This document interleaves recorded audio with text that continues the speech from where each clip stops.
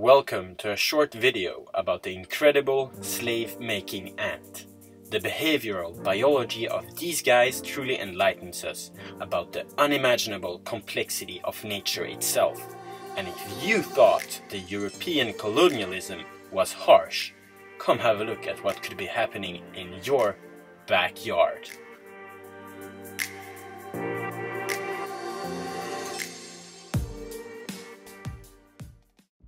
Imagine a trail is forming as said in your backyard. The surrounding microfauna, aware of the ferocious herd, hurries home. Because this is a trail of fire and blood. But one unfortunate colony seems to be unaware of the upcoming danger. And now it is already too late to reconsider. The nest is quickly overwhelmed by the attacking army of the ferocious slave-making ants.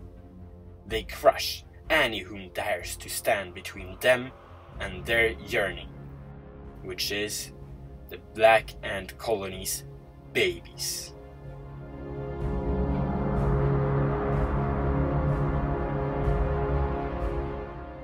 The babies are harmlessly stolen on an industrial scale back to the slave maker ant nest.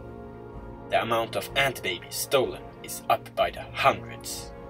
And after tens of meters marching in a column-like formation, just like a single organism, the raiders revisit their nest and place their gatherings deep within the colony's underground tunnels.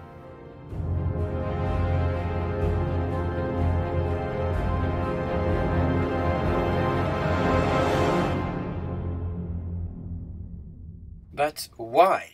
Why do they send out awesome scouts that manage to find a new nest of a specific Formica species every day that they later every day again pinpoint to the entire colony that in a miraculous way manage to get there and back stealing thousands of eggs in the process? I mean this species looks super legit so the answer must be as well, right? Well, the reason is incapability the incapability of caring for your young, like other ants, or the incapability of gathering your own food, like other ants, or apparently the incapability of eating your own food. I mean, from an evolutionary perspective, these guys shouldn't even be alive, but they came up with an ingenious solution. Slaves. If you can't do shit, why not make somebody else do it for you? Maybe as you have seen, their nest is full of red and black ants. The red ants, also known as the slave-making ants, have their own queen and rule the nest. But the black ants are the offspring of the stolen cocoons and eggs that were born into slavery. They care for the young in this nest, they hunt the food to feed the nest, and as mentioned, they first consume the food and then regurgitate it in a more digestible form to the other red ants. But now, let's learn how to keep these guys. First, you need to find a queen.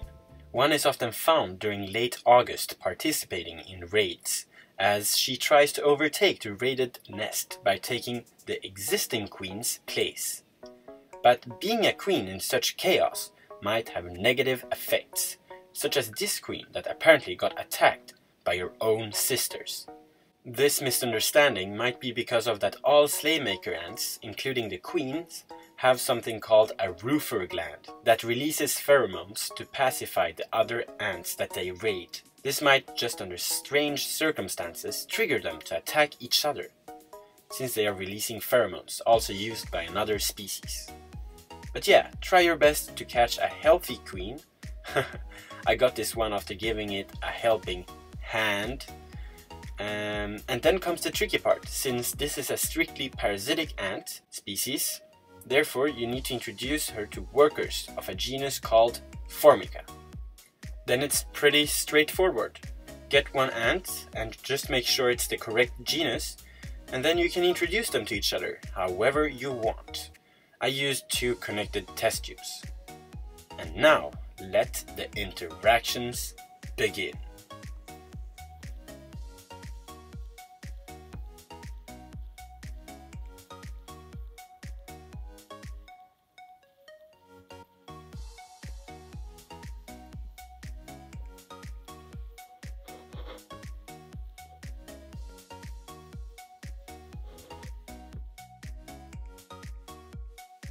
It might look stressful and bad for the queen, but believe me, she's made for this.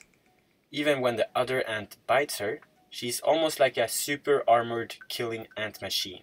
But after some hours of intimidating dance-offs, they both end up accepting each other's.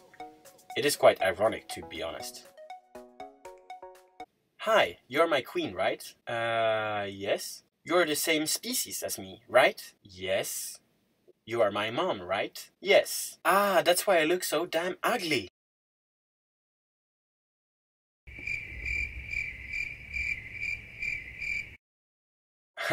I'm just kidding. But yeah, after the first introduction, you can keep introducing ants depending on how big you want to start the colony. But you usually need more than 3 or 4. How the queen treats her new slaves is really something to experience, in my opinion. It is really, how to say, um, strange. And yeah, don't forget to add additional brood so that the ratio of ants in a colony is at least 2 black ants for every red ant. And thanks, this was a short non-vivarium video, but don't worry, those will come soon. And also, would you like to sometimes, in the future, see these guys in a vivarium? Please leave a vote above and have a fantastic day.